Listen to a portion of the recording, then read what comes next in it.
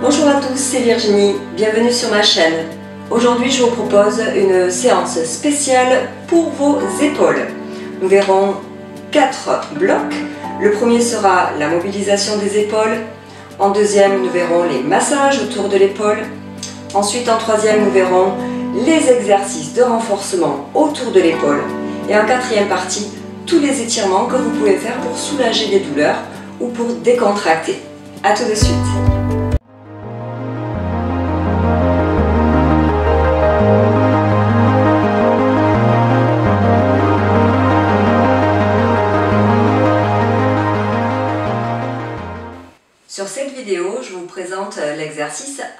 droite. Alors bien sûr, je vous encourage à faire tous les exercices que je vous propose aujourd'hui pour les deux épaules, même si vous avez mal par exemple uniquement à l'épaule droite, ça permettra de bien rééquilibrer vos appuis ici, de retrouver une bonne posture des deux côtés.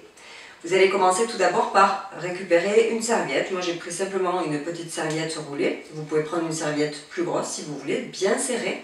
Et vous allez la glisser ici sous votre bras. Alors assez haut, de manière à ce que vous sentiez un vrai soutien. Une fois que vous l'avez en place ici, vous le relâchez bien votre bras jusqu'à ce que vous sentiez ici Hein, que l'épaule remonte un petit peu et vous laissez redescendre. Ensuite, vous laissez le bras bien libre et vous allez commencer par mobiliser ici. Vous pouvez placer la main si vous voulez. Mobiliser pour sentir l'épaule monter. Alors, qu'est-ce que l'épaule ici hein, Qu'est-ce qu'on voit bouger? Vous avez la clavicule qui va bouger ici. Essentiellement, vous pouvez poser votre main dessus. Notez le mouvement ici de l'épaule. Également dans le dos, on va voir toute la mobilisation ici de l'omoplate. Et vous faites cela une dizaine de répétitions lentement. Alors, ici, très important de retrouver toujours une respiration fluide, une respiration qui va accompagner votre geste. Par exemple, vous allez pouvoir inspirer en montant votre épaule, puis souffler en redescendant. On le refait encore deux fois ensemble. Vous inspirez, vous montez. Puis vous soufflez. Vous reprenez, inspirez. Et redescendez. Laissez vraiment votre épaule bien redescendre autour de la serviette. Ensuite, vous prenez ici votre poignet et légèrement, hein, vous allez créer une traction ici de manière à bien désengager la tension autour de l'articulation. Donc vous maintenez ici au niveau du poignet, juste au-dessus. Et sur une expiration, à nouveau, vous allez tirer votre main vers le bas délicatement en laissant vraiment votre épaule s'appuyer dans la serviette. Alors si vous avez un petit ballon, c'est bien aussi avec un petit ballon. Voilà, vous mobilisez, puis vous relâchez. Et vous refaites cela trois ou quatre fois. Vous étirez. Alors vous pouvez rajouter un petit mouvement d'étirement si vous avez des tensions au niveau de la nuque par exemple. On le refait encore une fois. Soufflez. Puis détendez. Vous vérifiez la position de la serviette, toujours ici en place. On va cette fois-ci faire un mouvement de l'épaule vers l'avant puis vers l'arrière. Alors, moi je me mets deux profils ici pour que vous voyez bien. Donc avant, puis arrière. Par rapport à l'autre épaule, hein, on voit une différence. Avant, arrière, avant, arrière. Faites juste attention à la position de votre tête, qu'elle n'avance pas de trop ici. Et ensuite, vous allez pouvoir poursuivre en faisant des cercles. Alors là, je l'ai fait peut-être un petit peu vite, mais vous pouvez prendre le temps hein, de réaliser ces gestes ici sur une inspiration pour monter et souffler pour redescendre. On va recommencer les cercles dans l'autre sens, donc vers l'arrière on inspire, on cherche à monter l'épaule vers l'oreille Faites attention de ne pas soulever l'autre épaule et souffler. Et à nouveau souffler. Vous refaites cela encore deux fois.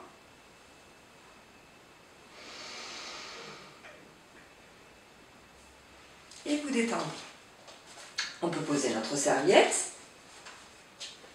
Deuxième exercice de mobilisation dans notre première partie. Vous allez venir vous appuyer contre le mur.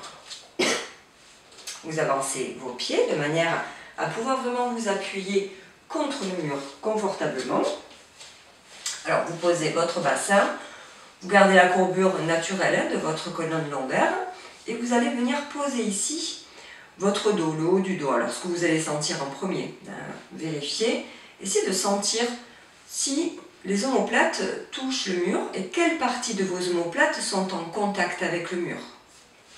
Il est possible que vous ayez, avec des douleurs d'épaule, les omoplates ici qui ne restent pas en place, qui sont un tout petit peu tractées ici en dehors des côtes et qui avancent un petit peu. Donc vous allez peut-être sentir cette petite bordure ici, hein, plutôt que l'omoplate ici, bien engagée sur les côtes en position basse. La différence entre une omoplate qui est positionnée et l'autre qui est relâchée, on voit de suite ici dans notre posture une épaule très en avant et une épaule qui se maintient. Alors le but c'est pas de faire ça, hein, c'est pas d'essayer de tenir ses épaules de cette manière, c'est plutôt d'essayer de ressentir. C'est pour ça que je vous propose de vous appuyer contre le mur. Donc on se positionne. Vous pouvez, si vous souhaitez, poser la tête euh, contre le mur si vous avez des tensions. Pour les personnes qui ont une grande courbure ici, une grande tension au niveau de la nuque, mettez un petit coussin par exemple, ou voire même euh, votre petite serviette de tout à l'heure. Une fois en place, donc on va faire l'exercice toujours avec notre épaule droite. On va ici venir prendre appui avec l'omoplate, donc on va venir appuyer dans le mur. Voilà. Une fois que vous sentez que votre omoplate est en place, vous vérifiez avec la main que pour appuyer dans le mur, vous n'avez pas monté l'épaule. Donc vous placez les mains ici, vous vérifiez. À présent, avec le bras, vous allez allonger doucement, chercher à monter votre bras, alors pas très haut, on va à hauteur d'épaule, voire en dessous si vous avez euh, des tensions ici et vous gardez cette position. Puis, vous allez partant d'ici décoller votre omoplate du mur, allonger donc, avancer l'épaule, allonger le bras, comme si vous vouliez toucher le mur là-bas en face, puis venir poser l'omoplate contre le mur et vous redescendez votre bras. C'est de la mobilisation uniquement, ne cherchez pas à faire un effort musculaire. Inspirez, montez votre bras, vous sentez votre omoplate, puis vous allongez pour décoller l'omoplate, votre tête reste en place, votre bassin aussi, l'épaule gauche reste en place, hein, ça ne bouge pas. Et on va chercher à allonger. Vous pouvez rajouter ici, si vous le souhaitez, un mouvement de la tête qui vient passer par-dessus l'épaule. Ça permet de décontracter et de réharmoniser vos cervicales. Et vous redescendez. On le refait une dernière fois. Inspirez. Expirez sans forcer à allonger, cherchez à décoller l'omoplate du mur. Vous pouvez tourner la tête et redescendez.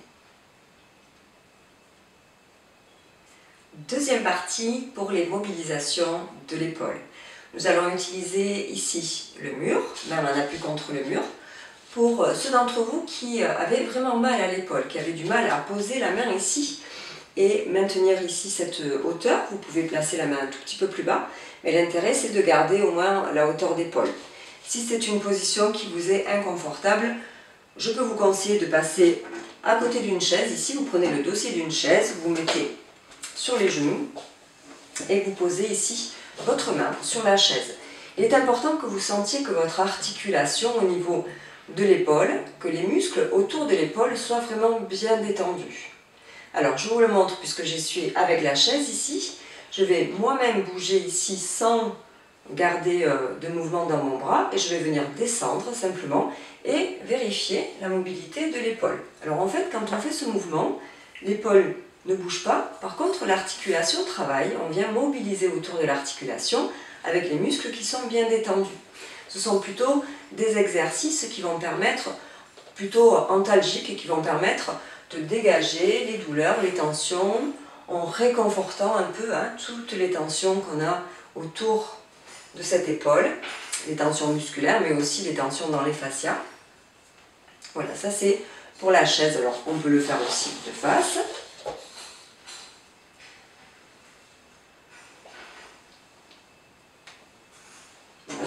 Avec le bras droit, puisqu'on est toujours sur le travail du bras droit. Vous voyez comment ici votre articulation est en mouvement, mais je ne fais aucun effort musculaire. Et une autre partie, alors je vais vous tourner le dos pour vous le montrer. Je me mets pratiquement ici de dos, là où je peux aller au niveau de l'étirement. Et je vais venir également descendre.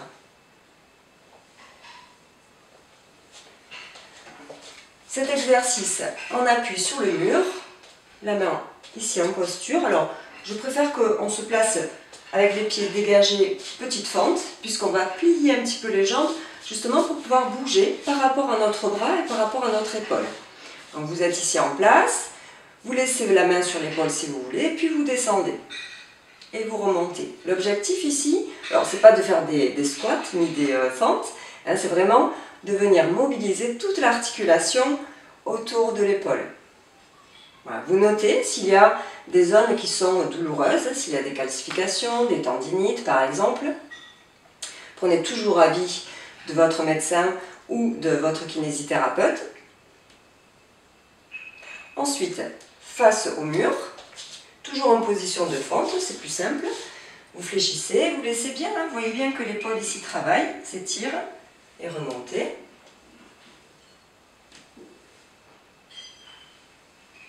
Voilà, vous laissez vraiment que le bras reste vraiment détendu, lourd.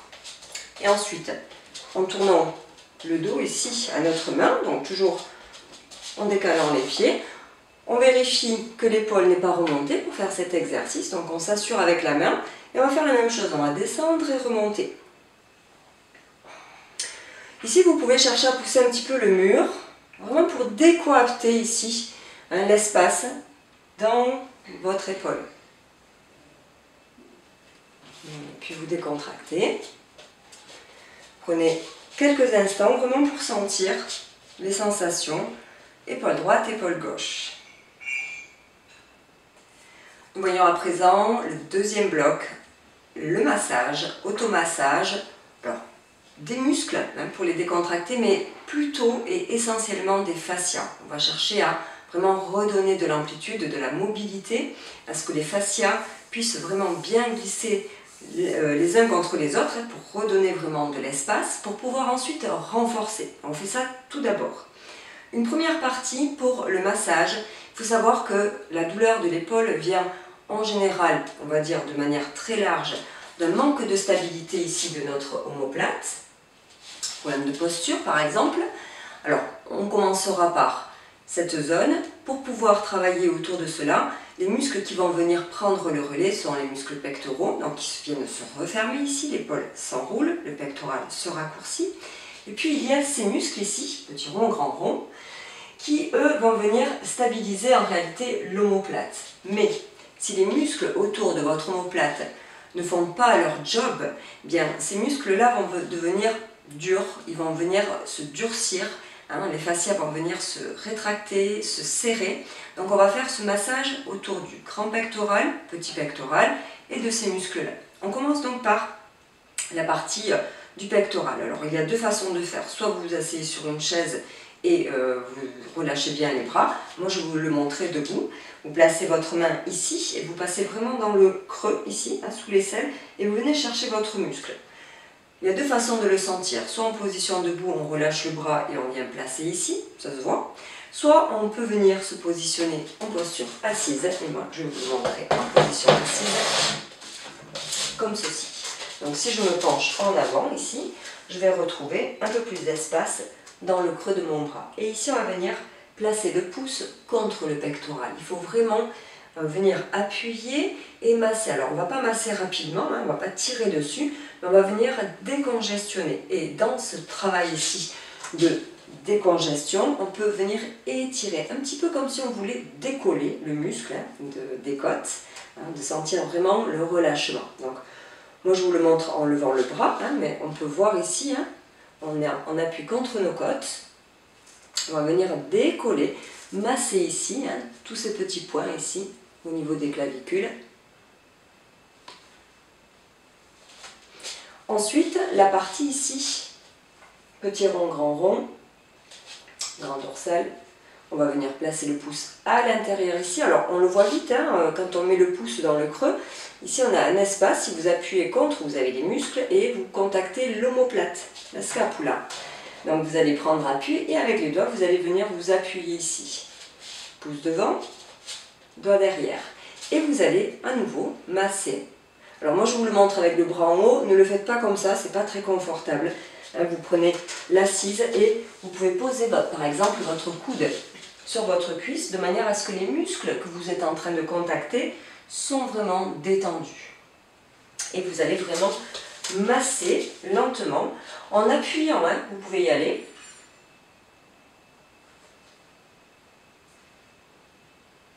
Restez sur les zones que vous sentez tendues hein, et vous relâchez. Quelques instants pour sentir à nouveau, euh, réintégrer les positions et sentir les sensations à droite et à gauche. Voyons à présent le troisième bloc, renforcement musculaire pour l'épaule. Ça va concerner également tous les muscles ici du trapèze, les muscles entre vos omoplates, tous les muscles abaisseurs des omoplates qui permettent euh, bien sûr de la maintenir en place pour ne pas avoir l'épaule qui s'enroule ici. Donc on va utiliser une bande élastique, si vous avez ça chez vous, de manière à renforcer plutôt les muscles profonds. Si vous n'avez pas de bande élastique, vous pouvez utiliser, voilà, ceci, une ceinture de peignoir. Donc moi je vais vous le montrer avec l'élastique et en deuxième temps avec la ceinture du peignoir. Vous commencez par vous placer ici en appui contre le mur et vous venez avancer les pieds de manière à ce que vous puissiez vraiment poser votre bassin contre le mur. Ensuite, vous posez les omoplates en contact avec votre mur. La tête peut rester appuyée ou très légèrement dégagée. Comme tout à l'heure, vous pouvez mettre un petit coussin ici entre, dans l'espace entre la tête et le mur. Ensuite, vous allez prendre votre bande élastique ou votre sangle de peignoir ici, en rapprochant bien les deux mains l'une de l'autre, puis venir placer les deux mains face au sternum, ici. En suivant, vous allez monter les coudes. La hauteur des coudes, toujours la ligne des épaules ou légèrement en dessous. Vous allez vite remarquer si vous avez des douleurs au niveau des épaules, hein, que la hauteur corresponde ou pas. Deuxième chose importante, une fois que vous avez monté les coudes, veillez à garder toujours les épaules basses. Hein. On ne va pas monter les coudes en montant les épaules. Donc vous vérifiez, de préférence vous mettez un miroir devant vous, c'est beaucoup mieux pour travailler, et ensuite vous vous positionnez. Une fois que vous êtes dans cette position, tout simplement ici, vous prenez une inspiration et en expirant, vous allez tirer sur l'élastique vers l'extérieur. L'intention étant de pousser les coudes vers l'extérieur et de renforcer ici, de venir travailler cet espace. Donc on a bien le mouvement, les épaules basses, je contracte, les omoplates ici se rapprochent de la colonne vertébrale et on vient descendre vraiment l'omoplate au fur et à mesure vers les fessiers. Contre le mur, c'est plus simple parce que ça vous permet de ne pas vous déplacer pendant l'exercice. Hein. Vous faites cela sur 10 répétitions, à chaque fois sur une expiration, et ensuite vous décontractez. Deuxième exercice, même position de départ. Les mains face à votre sternum, les épaules basses, les coudes bien tirés à l'extérieur. Vous vous grandissez et en soufflant, vous tirez légèrement sur la bande ou sur votre ceinture de peignoir et puis vous allez chercher ici à allonger lentement vos deux bras vers l'avant sans rien déplacer. Vous sentez contre le mur vos omoplates. Si vous sentez que les omoplates se décollent du mur, c'est que vous tendez beaucoup trop vite Hein, qu'il n'y a plus le maintien musculaire à des muscles profonds ici, et que les muscles qui se contractent ici se détendent. Hein. donc on a le mot plate qui s'en va. Hein. donc il faut vraiment maintenir le mot plate de manière à tendre sans bouger. On le refait encore une fois.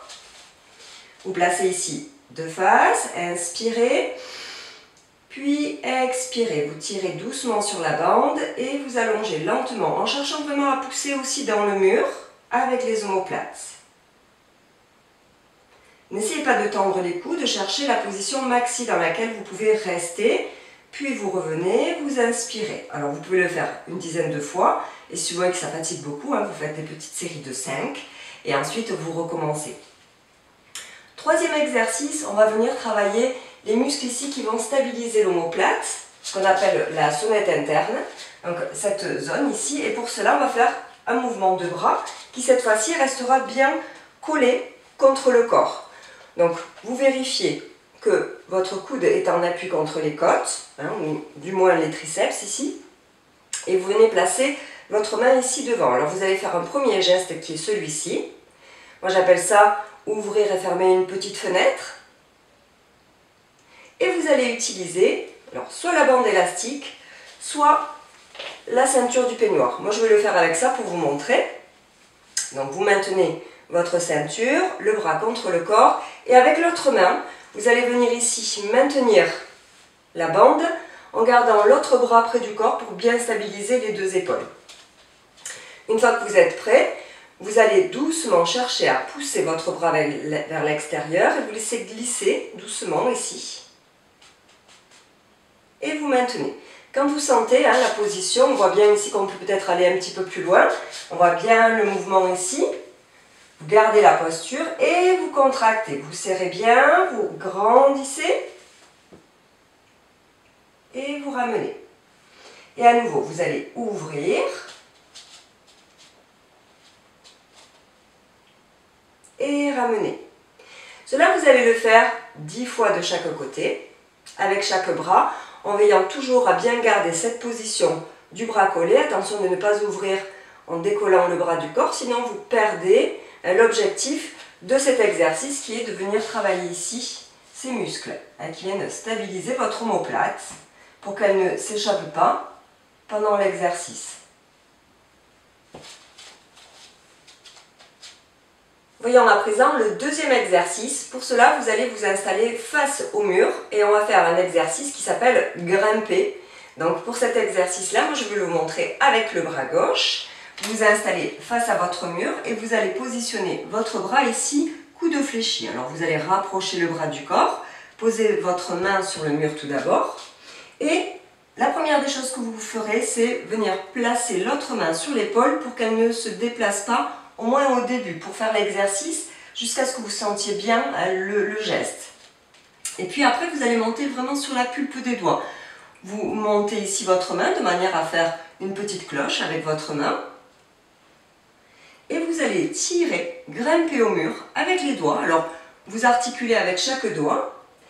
La sensation étant de tirer le mur vers le bas pour pouvoir grimper. Hein. Donc on tire de manière à activer ici les muscles. Alors on a les muscles profonds, les rhomboïdes, les muscles abaisseurs des omoplates. Et on va ici chercher à grimper. Si vous avez des douleurs d'épaule, vous remonterez jusqu'à sentir à quel point vous pouvez vous arrêter. Vous redescendez et vous recommencez. Alors, la variation pour cet exercice, c'est l'ouverture du bras en fonction, bien sûr, de la nature de votre douleur au niveau de l'épaule. C'est un très bon exercice pour retrouver la stabilité au niveau de l'épaule à travers les muscles profonds. Donc moi je vais le faire ici, sans bouger l'épaule, sans tenir l'épaule et je me rapprocher le plus possible contre le mur pour avoir le coude au plus près.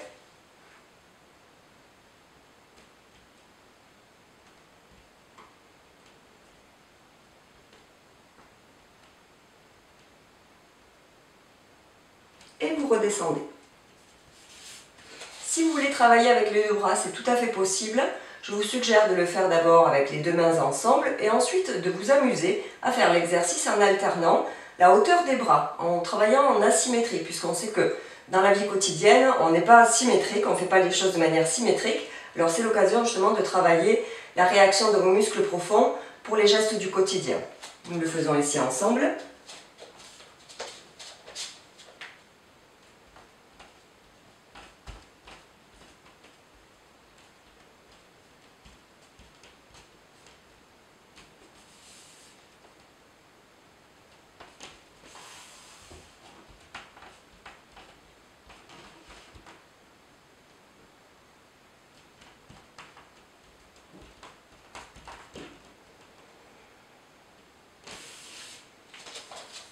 Vous décontractez.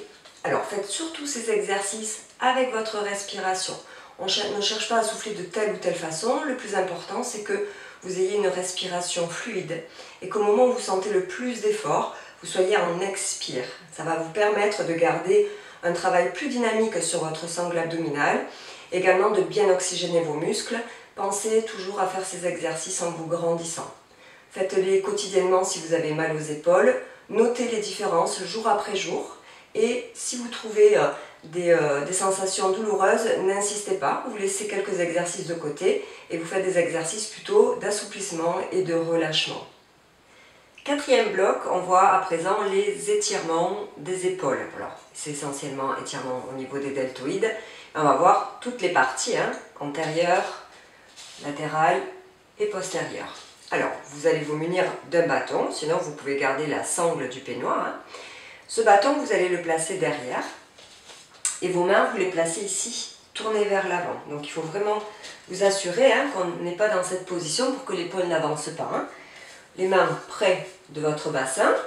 Vous allez tout d'abord amener le bâton contre vous, les jambes sont bien tendues, et vous allez simplement en inspirant ouvrir, vraiment bomber ici la poitrine et chercher à dégager le sternum vers l'avant, vous grandir en tirant vraiment les deux épaules ici vers l'arrière. Servez-vous vraiment du bâton de manière à tirer dans le bâton, tirer vers le bas et très légèrement vers l'arrière.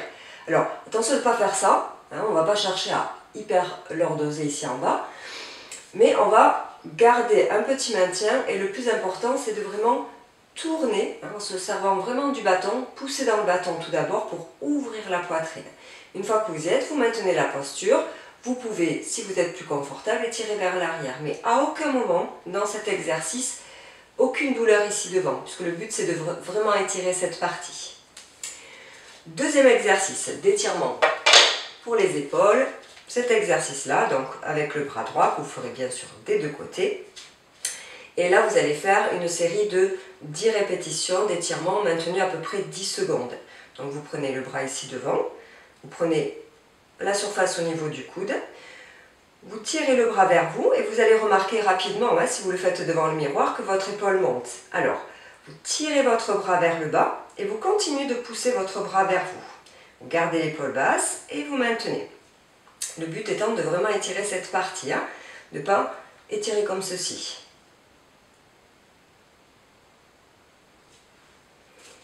Puis le troisième exercice d'étirement ici, qui est un étirement plutôt postérieur. Alors là, on va à nouveau plier le bras, mais on va venir poser la main ici sur son épaule. On prend à nouveau le coude et là, on va vraiment pousser contre, de manière à sentir toute cette surface ici en étirement. Encore un détail, en faisant ce geste, vérifiez que vous ne montez pas l'épaule. Donc vous allez maintenir, descendre l'épaule et vous tirez. Vous appuyez contre et vous gardez cette position. Vous pouvez, si vous voulez, tourner la tête par-dessus l'épaule ou rajouter une légère rotation, très légère, pour accentuer ici votre étirement. Vous tirez à nouveau votre bras vers le bas et vous maintenez. Et vous décontractez. Quatrième étirement, qui est un étirement qui va concerner toute cette surface ici, la chaîne musculaire antérieure, ces muscles pectoraux ici qui viennent s'attacher sur le sternum qui viennent s'attacher le muscle ici biceps on va dire et on va venir décontracter cette face pour vraiment décongestionner, enlever la pression que l'on va retrouver ici au niveau des omoplates. Alors pourquoi on étire cette chaîne antérieure? Tout simplement parce que l'effort que vous faites quand vous manquez de muscles profonds au niveau de votre dos et autour de l'omoplate va venir engager donc bien sûr les muscles de l'épaule et les muscles de l'épaule vont être soutenus principalement par vos muscles pectoraux c'est pas leur job. Donc on va chercher à bien décongestionner les muscles pectoraux pour que vous ressentiez vraiment un relâchement et une meilleure ouverture de votre épaule. Pour cela, vous prenez ici la position au niveau du mur, vous placez, moi j'utilise le mur, mais vous pouvez placer votre main dans l'encadrement d'une porte par exemple, pour pouvoir poser votre main ici dans l'encadrement. Vous placez votre main et toujours au niveau de la hauteur, vérifiez que ça correspond bien à la position sans douleur. Une fois que vous êtes en place, vous maintenez ici, vous tournez les doigts légèrement vers l'arrière, hein. on va tourner tout doucement vers l'arrière. Ouvrir l'épaule, alors on peut placer une main pour s'assurer qu'on n'est pas ici en haut. Vous inspirez et en expirant tout doucement, vous allez chercher à vous tourner à l'opposé de votre main. Donc on va faire ici un étirement que l'on va sentir alors dans le bras bien sûr, mais on va venir le sentir vers le sternum, dans cette zone ici. Notez si c'est confortable, si ça tire beaucoup, faites-le avec le coude fléchi par exemple et vous allez pivoter en gardant bien cette ouverture, cet espace ici, bien dégagé. Vous maintenez cette position, cet étirement-là se fait une trentaine de secondes. Vous pouvez le faire une fois de chaque côté et pour chaque bras. Faites les deux côtés là. Vous gardez une respiration stable et vous relâchez. Une fois que vous avez terminé, vous allez décontracter et on va faire un petit système de rebond ici avec les épaules bien détendues.